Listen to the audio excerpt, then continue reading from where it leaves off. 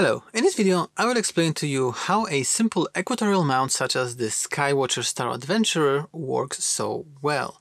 Sure, in simple words, I could say that, well, if you point this stuff at just the right spot on the night sky and you turn it on, it will rotate in just enough speed in order to compensate for the Earth's rotational movement, and that way the sky will remain static with regards to the camera mounted on this tracker. But why is it that it doesn't matter where on Earth are you actually located? Why is it that it doesn't matter where you actually point your camera which is mounted on this device? And why is it that the elevation angle on this wedge is supposed to match your current latitude. And also how this stuff is even supposed to work at all, given the fact that we are on a giant rock that is rotating around its own axis, but is also rotating around the sun, which is also rotating around the center of the Milky Way, and the movement of us with regards to the rest of the universe is pretty complex, right? So, these are all the questions that we are going to be answering today, so let's take a piece of paper and a pen and let's break this down. So first let's set the scene of where we are actually in the universe with regards to the sun and with regards to the center of our galaxy. We are on a tiny rock called the Earth, which um, you know could be represented like a, like a circle like this if we look like top down to the galaxy. And now we are just on the surface of this rock and we are rotating around its own axis. And now, of course, the Earth is rotating around the Sun. So right here somewhere we have the Sun. Of course, the size of the Sun and the size of the Earth is not to the realistic scale. And now the Earth is sort of moving around the Sun. And now the entire solar system is moving around the black hole in the center of our galaxy. So everything is rotating around the center of this galaxy. So when we stand right here on the surface of the Earth, the, our movement with regards to the entire universe is quite complex and we are going to get back to this drawing by the end of this video. But right now, let's focus on the Earth's rotational movement around its own axis because that's the one that's going to be the most important. So right now, let's draw again our Earth that looks like a, like a ball. And now we are looking sort of from the side on the Earth. So right here, this dashed line is the axis of rotation of Earth around itself. So the Earth is rotating, you know, like this. And now we are standing somewhere on the surface of the Earth, which is, let's say that we are standing right here. And right now the perpendicular line to this axis of rotation defines the equator. So this is the equator right here. And our latitude is an angle between the equator and sort of our elevation here. So if we draw a line right here connecting the middle of the Earth with ourselves, this is the latitude that we are at. So this is the angle and let's call it phi. This is the angle phi. And now let's see what happens if you actually polar align your tracker standing right here on the surface of the Earth. If you polar align this tracker, which means that the axis of the rotation of the right ascension axis is exactly parallel to the axis of rotation of the Earth. So right here is the axis of rotation of our tracker. This is what it means to be polar aligned. And it of course is aligned sort of in this direction, but it also is aligned right here. So we are exactly parallel with the axis of rotation of the Earth. This is what it means to be polar aligned. So let's see what happens if we draw a line connecting our horizon to the axis of rotation of the Earth.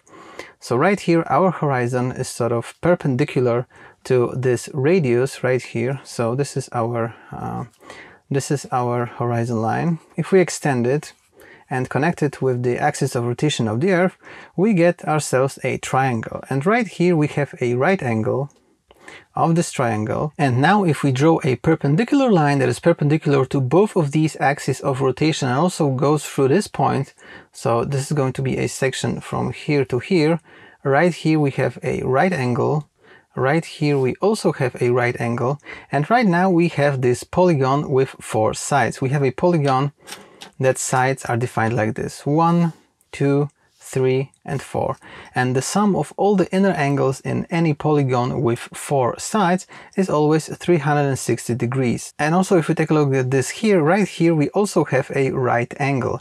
And because we have phi right here so that this angle must be 90 degrees which is the right angle minus phi. So right here we have 90 minus phi.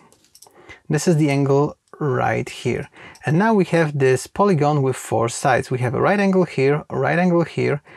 Right here we have 90 minus phi. So this angle from this to here is 90 plus phi. But take a look at this here. Right here we have a right angle which is 90 degrees. So this tiny angle right here, this is also phi. And this is the elevation angle that we have to set on our wedge, on our star tracker. And that's why this angle is exactly the angle of our latitude. Okay, so right now let's think about what does it actually mean to be polar aligned. Because if we stood at exactly this pole, let's say that this is the North Pole, if we stood with our tracker exactly at the North Pole, then our axis will be the same exact line in space.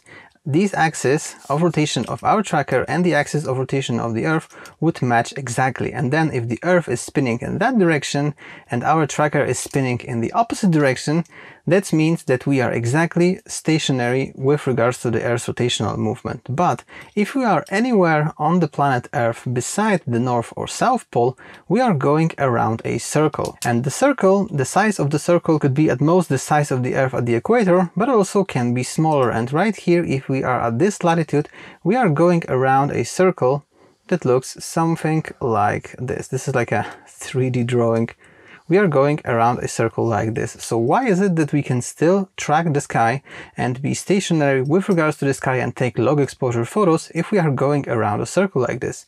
And for that, let's draw a top-down view from this side on a separate piece of paper. Alright, so again, we start by drawing a circle. Let's draw a pretty large one this time.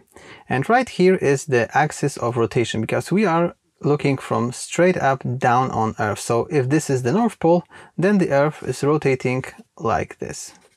It's rotating like this and we are standing on the surface of the Earth somewhere right here. And this is not exactly, this doesn't have to be like the equator like I showed you in the previous drawing. If we are in any latitude that is higher than the equator, then the circle of our movement around the axis of rotation of the Earth can get smaller. So we are standing somewhere right here. And actually, I have this little symbol of a camera which we can place somewhere on the circle right here. And again, this camera can be pointed anywhere you want because you can take a picture of any portion of the night sky that you want.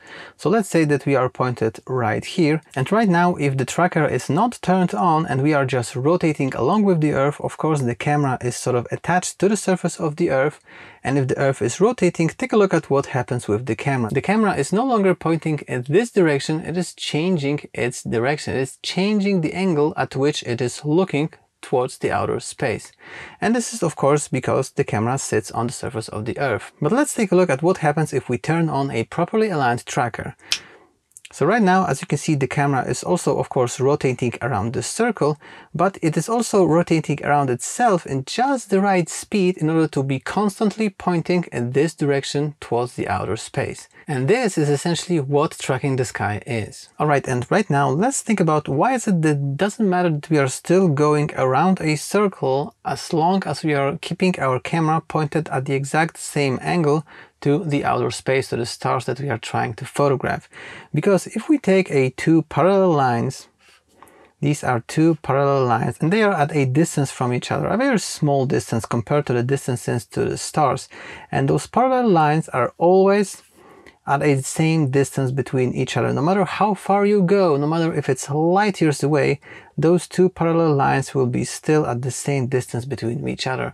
And frankly, the radius of the Earth, the distances that you can travel throughout a single exposure when you have your camera on the tracker is nothing compared to the vast distances between you and the stars that you are photographing, be it inside the Milky Way or maybe even other galaxies like the Andromeda Galaxy, for instance. So this tiny little shift in how we look at those stars it's not possible to be resolved by our camera sensors or our eyes. But again, how is it that if we have a slight deviation of the angle at which we are looking at those stars, why this very, very tiny angle compared again to the distances between stars is so apparent and it causes trailing? Well, that's because if we have a small deviation right here, let's say that this line is not exactly parallel, but it's very much almost parallel.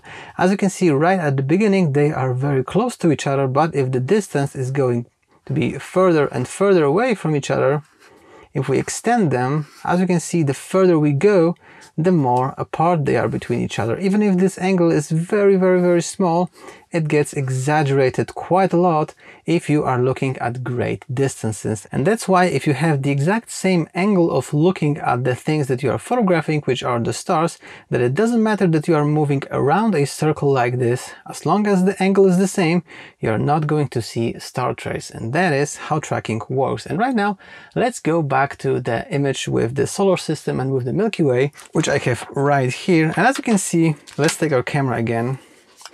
So the movement of us around the sun and then with the sun around the center of the Milky Way is quite complex, but as long as we keep our angle at which we are viewing other stars the same, it doesn't matter if we rotate around the sun, it doesn't matter if we rotate it with the sun around the center of the Milky Way, as long as the tracker is making sure that we are always at all times aligned in the same exact parallel lines with regards to the things that we are photographing, we are not going to see star trails. And if you're interested to learn more about this, what is our trajectory with regards to the universe throughout our lifetimes, there's an excellent video from Vsauce which I will link down below in the description box so you can learn more about it. It is quite fascinating. So hopefully by now you have a better understanding of how equatorial mounts actually work and why is it that they allow us to take long exposure photos of the magnificent night sky. And if you like this video, make sure to give it a thumbs up down below.